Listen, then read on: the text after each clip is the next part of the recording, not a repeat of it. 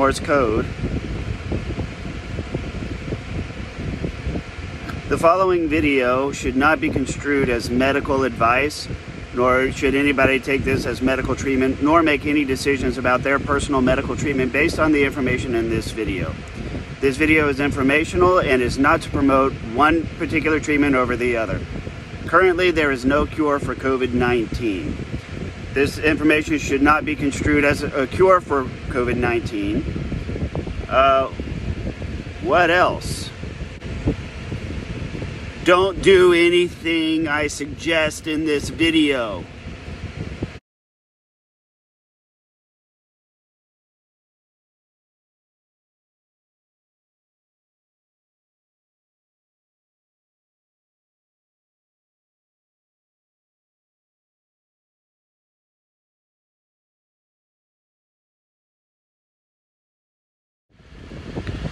Uh, hey everybody. So I want to talk a little bit about bullshit because um, I think it's it's important. Um, you know, with all the COVID stuff coming on and, and the Delta variant, and this, that, and the other. Um, you know, I've had a lot of time to reflect, and I've come to a position that I think really helps everybody deal with the challenges we face. And I, I don't know, I hope this helps people. Um, it may not help everybody, but I'm hoping it helps at least some people. And that's, um, you know, the role of bullshit in what we're facing today. Because it doesn't matter how you feel about COVID, it doesn't matter how you feel about vaccines, it doesn't matter how you feel about definitely not aquarium cleaner and definitely not anti-parasitic veterinary drugs or viral hoaxes or or definitely not a mobile data technology. Okay? Uh, there is no one correct answer except for what the CDC, NIH, WHO tell us this is one thing, this is the legacy of No Child Left Behind. I'm a former teacher, my mother was a teacher. Um, so I'm, I'm acutely conscious of how No Child Left Behind drastically manipulated and changed the educational landscape. Um, because growing up, we used to teach children to seek out their answers, right? Like like long form answers, essay questions, essay answers. You know, to think critically. And now it's all there's a question and there's a correct answer for every question you have. Uh, and that is not uh, that is not a useful protocol for getting through life. It just it isn't. I see it with my son all the time. You know, it's like there are no correct answers. There's also no wrong answers. Not when it comes to life. There are the answers that work and the answers that don't work okay? Uh, and it's up to everybody to decide for themselves what to do, what not to do. So long as it follows the guidelines of the CDC, NIH, and WHO, okay? It's perfectly fine to say that you don't want a vaccine. Perfectly fine. Uh, I'm not going to judge anybody that says, you know what, not feeling it, I'll take my chances. Okay. However, and this is the point that I want to make. You whether you're for it or against it and, and not just vaccines but everything. You always want to make sure that your decisions are not based upon bullshit. Because it does exist on both sides of, of, of any debate ever. There is bullshit to be had about the vaccines. And I'll give you a good example. Today, the CDC announced that they are.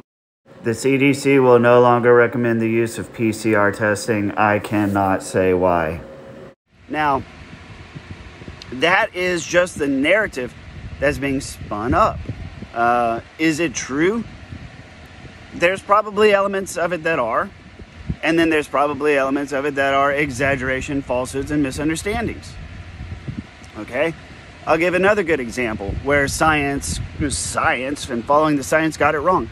In the very, very beginning, we used to think that ibuprofen was dangerous and that ventilators were saving lives, even though 80% of people that were ventilated died. As it turns out, ibuprofen was safe, the ventilators were dangerous. Well, they since tweaked and adjusted ventilator settings and learned how to properly ventilate people but not before they started hooking up hundreds of people to death machines and blowing their lungs out. See, because COVID makes the lung tissue more fibrous and it loses elasticity. And you, when you mechanically ventilate somebody, it just overworks that lung tissue and the people end up dying. So they started proning people and turning people over on their stomachs as a before putting them on ventilators, and that seems to have worked. Okay, uh, so to say you follow the science, you know, I'm an engineer, and people misunderstand science. They think science of science as a dogma, as like a religion, as as the source of the answers. Okay, what you what you have to understand about science, it is the pursuit. It is the pursuit of a conclusion. Okay, so with the scientific method, it's all about formulating a hypothesis and then coming up with a conclusion about the hypothesis. And that's it. It's not about establishing facts. And it's not about telling people how to live. It just it, it just it just isn't as much as we want it to be. Okay? It is not some infallible institution okay? Because science used to believe that the earth was flat. And now that's kind of making a comeback. But I digress. It's subjective, okay?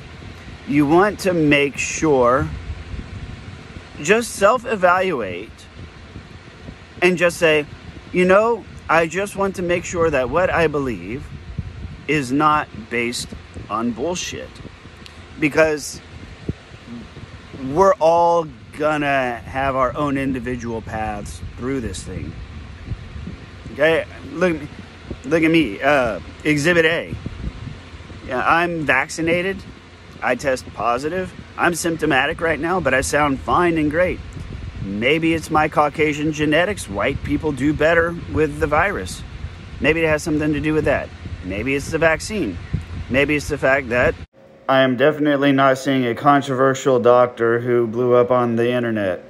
And by sheer coincidence, only because her clinic is right down the street, and because I'm halfway mentally ill, where I'm like, screw it, I'll just go down there and find out.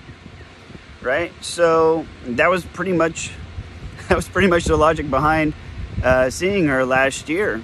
I mean, by the time I, I I could spend hours upon hours reading and doing research on the internet, or I could just book an appointment. So that's what I did. Uh, and it has worked out well for me. But I have also heard plenty of stories of people where uh, the medications she prescribes didn't work out for other people. And they never work for other people, period, because we all know there is no cure for COVID 19. Okay? Kind of like when you get a headache and you take Tylenol and it doesn't respond to Tylenol, but you take Aleve and Aleve works for some reason. I mean, medications are a tricky and fun, funny thing, right? Uh, that's just the nature of it. You know, when somebody has a heart attack, and and and this is coming just this hits a little personal because both my parents died of heart failure. Um, I've I've gone through that nightmare. I can say for sure that the first thing on my mind when when my mom started having hers, I did not immediately think, "Oh my God, does anybody have headache medicine?" Wasn't really the, the first thought on my mind, right? Because why the hell would anybody ask for headache medicine during a heart attack? Oh, but but aspirin, aspirin is well known to possibly help mitigate heart attacks as they occur. It's not a heart medication. No, that's an off label use for aspirin. And if you were to if you were to objectively say, hey, let's try giving some somebody who's having a heart attack headache medicine and let's make a, a, a randomized controlled trial. And let's just see how well heart attack patients do with some headache medicine while they're having their heart attacks. You can't do something like that. That's just as much as saying, hey, you know, let's study the effectiveness of parachutes against gravitational challenge. And we'll give half the people parachutes and we'll give the other half placebos and we'll see what happens, right? And then just like the cartoons, you know, where they pull the parachute and all the picnic stuff comes out, right? There are some experiments we just cannot do because we're humane. So, we're not all going to get through this in the same way. Uh, there is not a correct answer. Look for Fauci. So stop looking for the correct answers.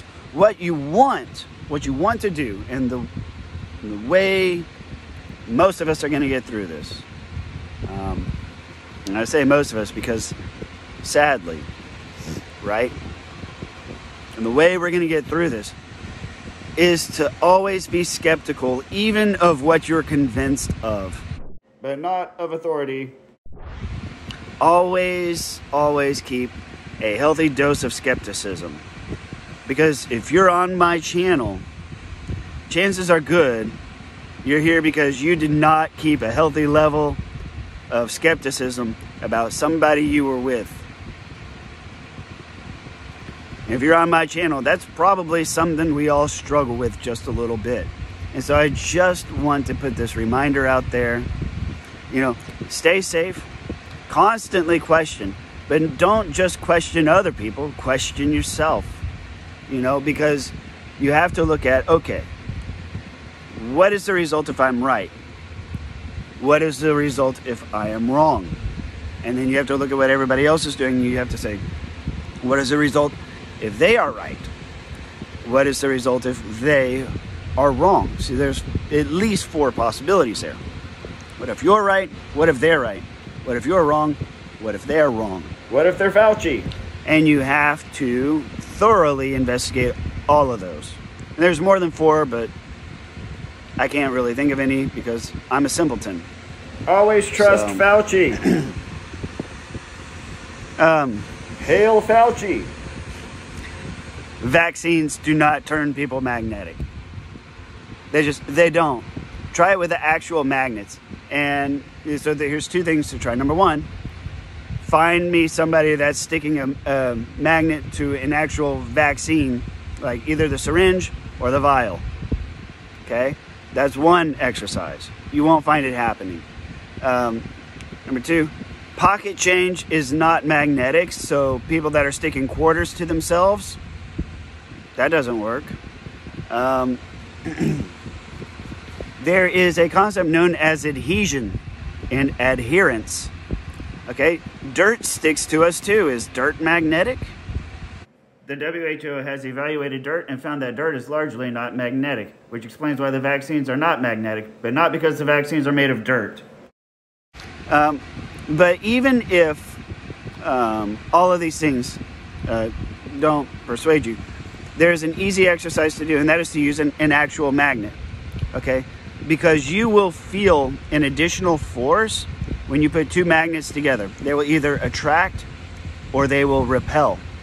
And so you can have a magnet, neodymium, rare earth magnet, um, any kind of magnet will do, but you want a strong one so you can feel the most effect. All right? Because I can tell you what would happen is you will either feel a force in the magnet or in the person or yourself, repelling or um, repelling or attracting. You won't feel that with something like a key or non-magnetic pocket change. You won't. And lastly, vaccinated people don't stick together when you put them together, right? So you can't take two magnetic people and put stick them together, right? Their skin would stick together or their skin would repel. Right? Right? So you have to think critically like that. Okay. How do actual magnets do with these magnetized people? Okay? I'm not here to judge anybody who fell for it because, I mean, bullshit is everywhere. Except the WHO and CDC. But just always, always ask the question what if this is bullshit? What if this is bullshit? Then what? And you need to find that answer out because uh, we're playing for points. This is life. We're all playing for points now. So that's all I got. Thank you very much. Please like, comment, or share, and I'll see you guys on the next video.